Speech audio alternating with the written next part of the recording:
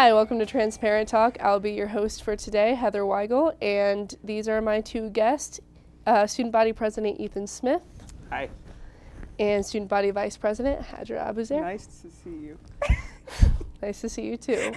so, um, what are your guys' majors? I think um, the student body needs to kind of just know who you are as a person before we get into the nitty gritty about your roles. So. Yeah, absolutely. Uh, I have two two majors, economics and political science. I focus more on the international affairs side, but I think both of those things have helped me out a lot in being student body president. Right on. And yourself? So I'm a biology major, uh, pre-med path, and then I have a minor in religious studies. Yep. Interesting. so two polar um, opposites. Yeah. How do you use that in your role? As vice president. Yeah, as vice president. Um, well, I think in general, the science major, any science major is going to be a lot of work, right? So it's a lot of, I guess, balancing. And um, since I am pre med, I'm trying to incorporate a little bit more about like morals and ethics. And I mean, that's, I guess that's where it comes in for things like being student body vice president. Yeah. But. Right on. And uh, do you mind if I actually jump in on that point? Because I was just going to say it's, I've really appreciated being able to run with and work with Because the more representative any governing body is, the more legitimate it is. So what we don't want to see, I, I love you know political science. I'm proud to be a political science major. But if everyone in student government was only representing those disciplines, then we wouldn't be able to represent the students um, as well as we can with having people like Hajer as part of student government too. Right. Um, so Hajer actually that was part of your appeal during the campaign that you were an outsider, you didn't have a lot of uh, student government experience. Do you think that has actually helped you in your role as vice president? Yeah, I think that's definitely helped me only because I'm coming into this project fresh, right? So people who are already in student government um, maybe don't have a different perspective coming in because they've already worked with the people in student government. But um, I came in, I've never been in student government before. This is my first year doing it. So I really had a lot of new, I think I had a lot of new, fresh ideas um, that I wanted to incorporate. But. Right. Um, could you speak to that a little bit? Yeah, I mean, I think, I think Hajer's definitely brought a fresh perspective. With me being a little bit more experienced in student government, I think that's where you really get the best of both worlds because I had um, an understanding of exactly the scope of the sort of thing that student government can accomplish and how to get them done. And Hajer was able to bring new ideas of things to get done to the table. So I think when you put those two things together, um, it's a really powerful combination. Right. You guys also ran on um, giving the student body more of a seat and more of like a a place to stand in the conversation of where our administration's going, like how student affairs get handled. So, what have you done to kind of bring students to the table? Sure. Um, I think really the key to making sure that students' voices are represented, that students are at the table, is taking advantage of the um, seats that we are given. So, for example, um, student government is invited to present to the Board of Regents committees um, at the Student Affairs Committee, and we traditionally sign up for the full board meetings.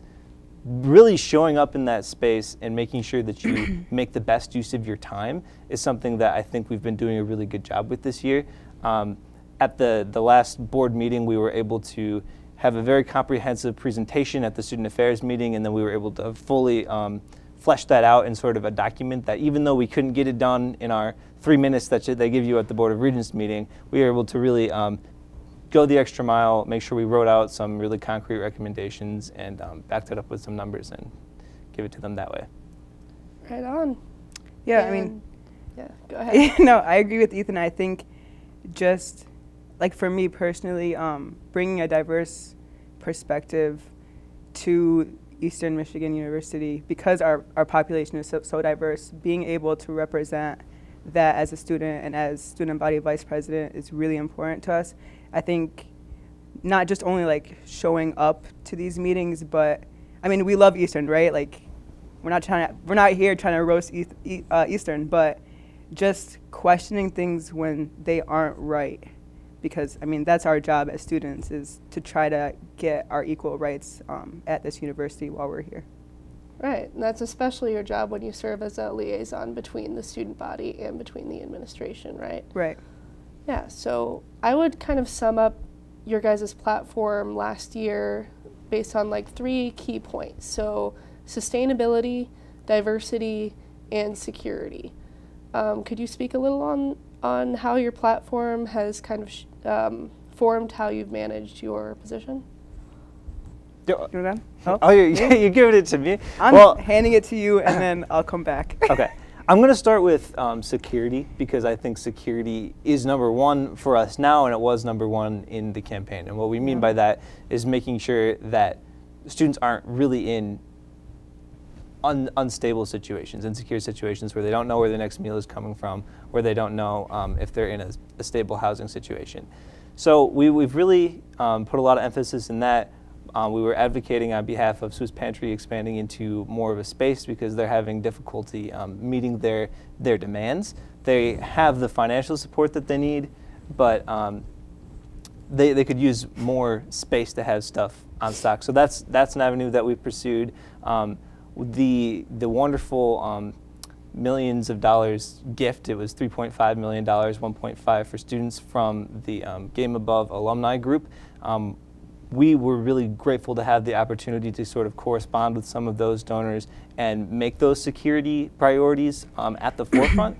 And that led to some of these issues like student houselessness getting um, singled out as places where they wanted that money to go. So that would be um, my number one answer to that because that was our number one thing. So that's, that's Yeah. thousands of dollars, hundreds of thousands of dollars that we're helping students. Wonderful. And I Um, think, yeah, a little bit to add on to that, I think what we've really been focusing on this year is basic needs in general.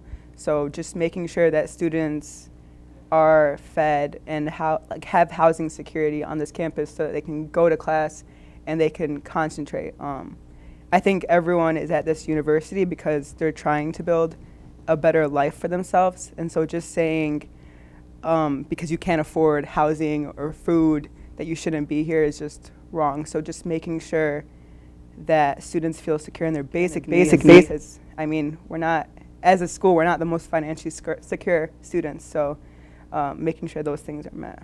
But our top priorities have been that this year. Right. Uh, what programs do you think have really um, driven that home? You know, like, Yeah, so like Ethan mentioned, um, the emergency fund, that's been something that we know students have been needing for a while. Um, everyone has bad situations, everyone has rough patches. So being able to say, here's, what is it, $750 that you can have and you can keep it and hopefully this will help you, help get you out of that rut, um, has been one of our huge programs. And supporting swoops too as well, as best as we can.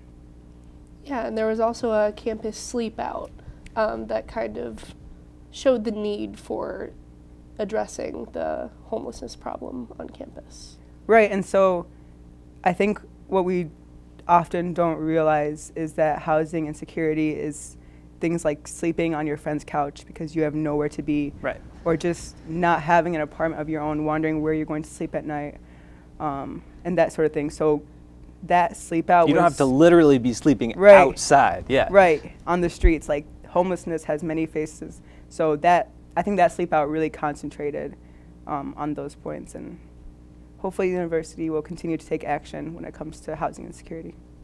Awesome. Um, could you speak to the diversity part of your platform? Yeah, I was I was just about to say that. So the first thing that I would say about that is not to belabor the point, but one, basic security, it's intersectional, right? So Absolutely. you have to think about the fact that of all the students that are going to find themselves in those situations, statistically, an African American student is more at risk, a um, Hispanic student is more at risk, and a female student is more at risk. Um, I don't remember the study that it came from, but one, that's intuitive, but two, that's that's a hard fact. So that's one thing that we have to keep in mind.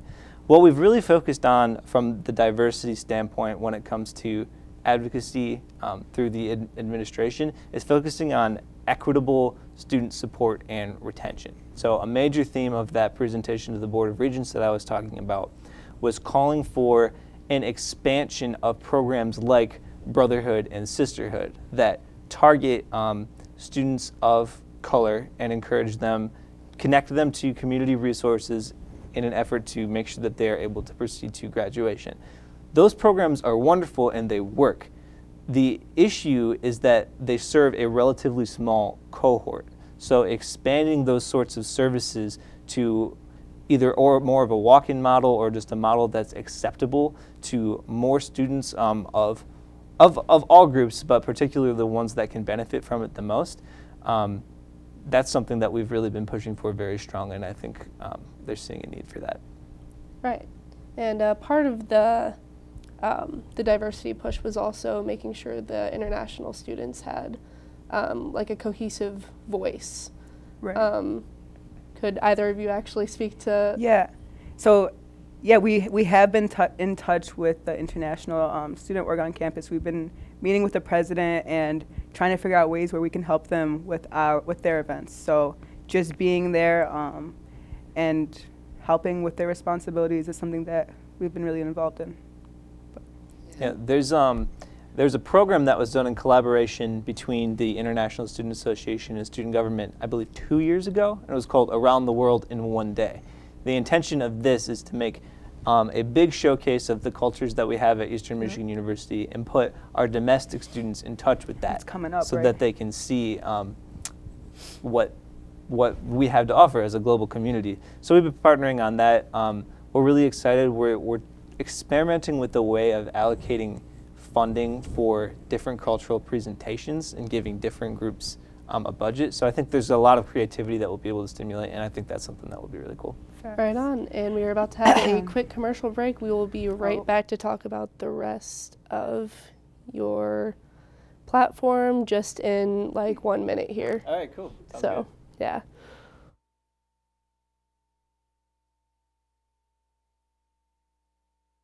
All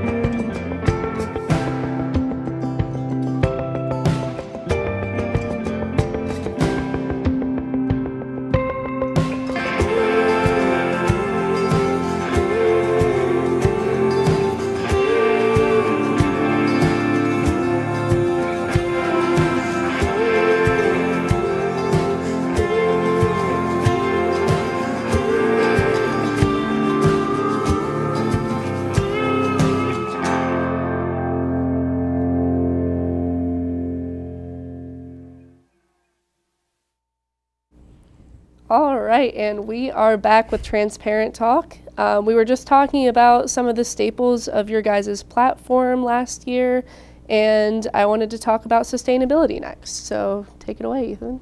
Yeah, I think sustainability to me, I mean, even just the dictionary definition, it means that you're able to perpetuate in the future. That what you're doing, you're going to be able to keep doing for an elongated period of time. So to me, when you say sustainability, the first thing that my mind goes to is are we spending money on the things that's going to allow Eastern Michigan University to be successful and um, accomplish its core academic mission long into the future? And when I ask that question, I'm challenged by some things like the investment that we recently put into the, the football um, facility, the gorgeous facility um, on the end zone. it's it's a wonderful facility, but is it an investment that is going to make Eastern Michigan University as sustainable as it can possibly be? I think I would echo um, previous student body president Miles Payne in saying in saying no. I think that um, we really need to hold firm to keeping the university to its commitment or the athletics department to its commitment to um, fundraise all of the university dollars that would be going into that project or the majority of the um, fundraising dollars, make sure that they meet their initial target. Um, I don't support really the fact that the university put as much of its own capital dollars into that project as it did. That's a position in line with um, previous student body presidents.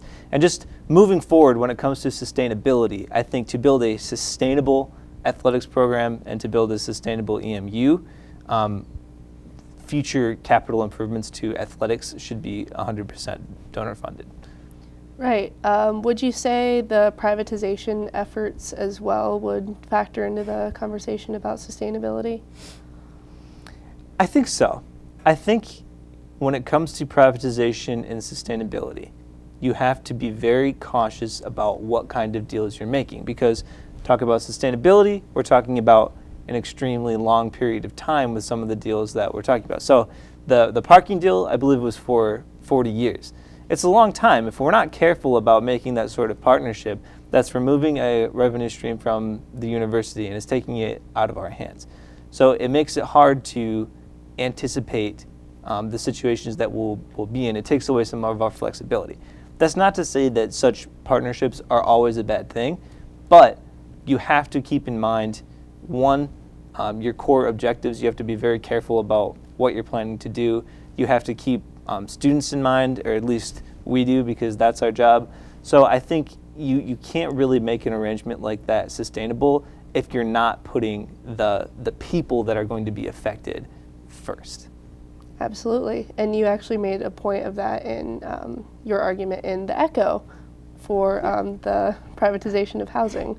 Um, do you see any any part of that playing a factor into what the current conversation on that is? I, I, would say yes. I think that's been um, very influential in um, kind of crystallizing a student perspective on that issue. Um, I think as conversations continue to move forward on that topic, um, continued input is always going to be um, necessary and useful, but I think that was successful in getting across what elements would need to be in any kind of partnership like that. And um, I don't think they've found a partnership at this time that would meet all of those. So um, that's why, to my knowledge, there hasn't been any movement on it. Gotcha.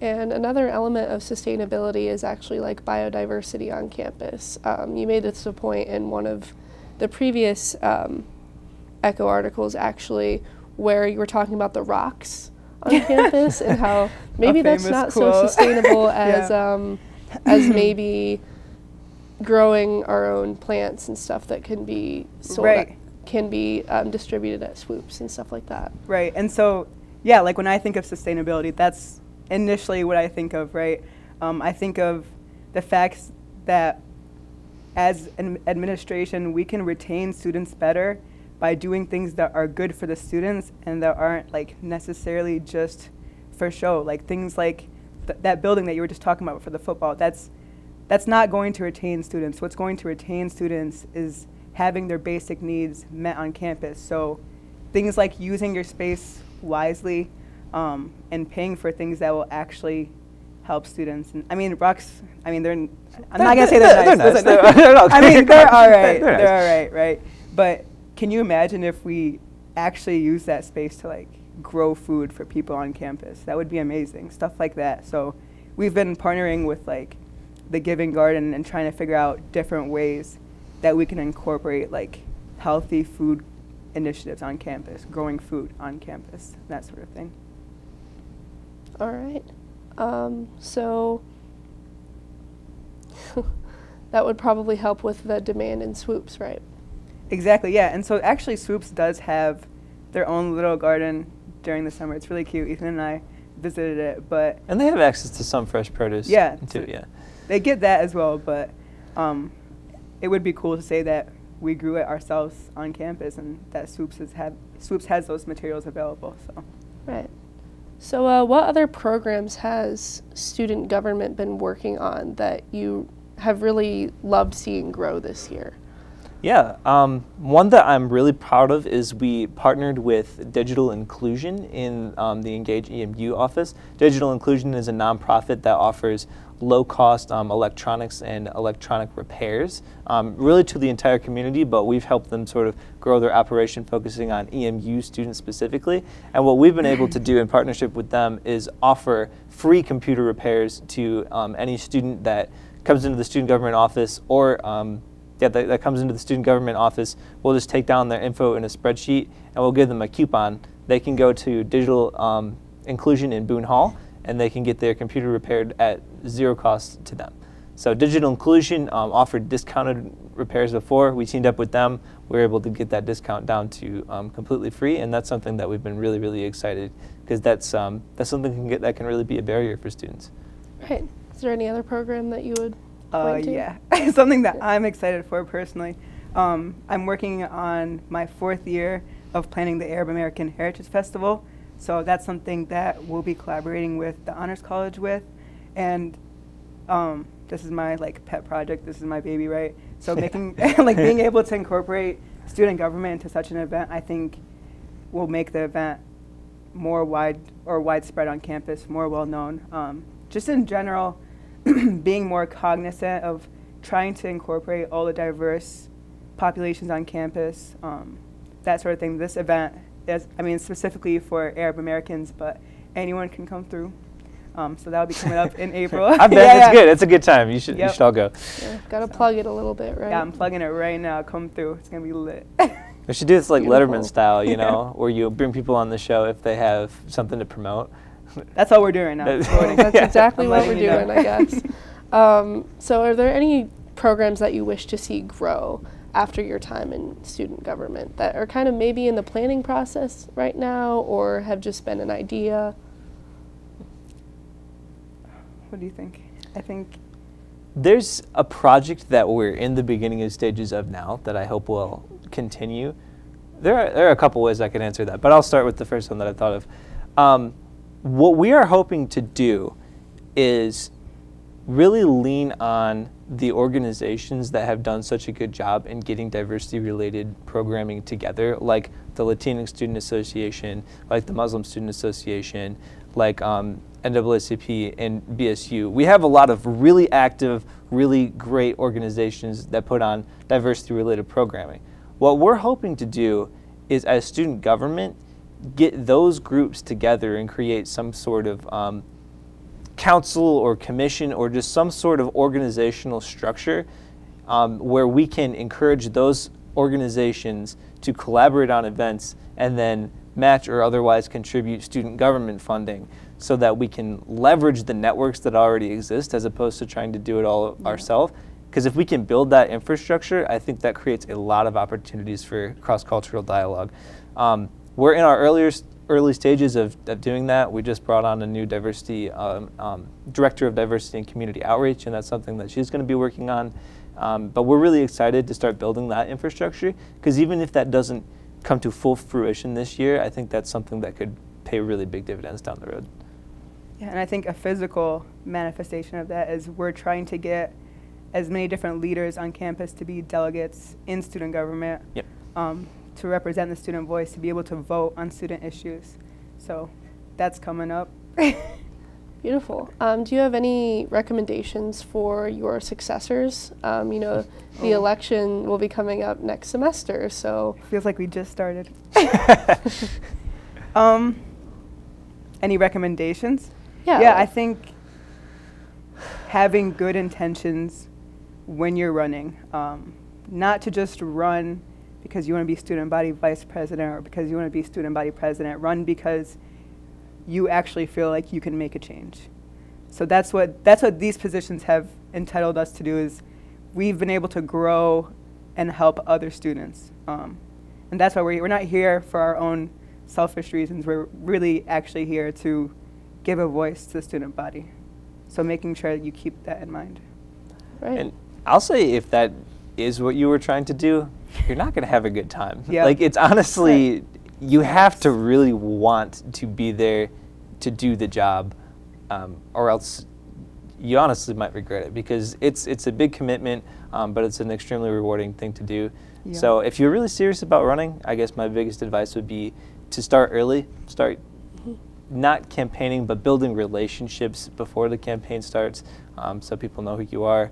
People can see that you're sincere, Yeah. and And I think yeah. that's what that's what we really hit home with is we had a lot of we we were in, involved in a lot of um, different orgs on campus, and we were already connected with the bo- the student body. So us running was just one more pedestal on the ladder. I guess that makes sense. Does that make any One- sense? one more rung on the Sorry. ladder, I don't know. One more wrong, maybe, yeah. Um, but Um, I would say that's what leadership is, right? It's like helping other people grow. It's not. It's not supposed to be for selfish reasons. right, so. and it's and it's has to outlast you. It has to outlast you if it's going to be make a real difference. Uh, so, what do you think your legacy will be? Our goal, and I think we've been successful, we still have some more months to do this, is to focus the mission of student government on students' fundamental needs. I mean, I think it's a good thing that we sound like a broken record because that was our whole objective is to refocus that conversation and really have a very intentional mindset whenever student government makes a financial decision about spending money is is this money going to be better spent than if it was going right to the hands of a student that really needs it? I think the emergency fund is a really great example of that. I think that's something that even once Ethan and I leave, people will be able to say that was our administration that did that, and hopefully that will continue on throughout the years. Right. Uh, that's pretty much all we have today. Um, thank you for Gucci joining gang. Thank you. on the show. Um, it's great to have you. Nice to see you. Yep, and you as well. Thank you. Thanks a lot.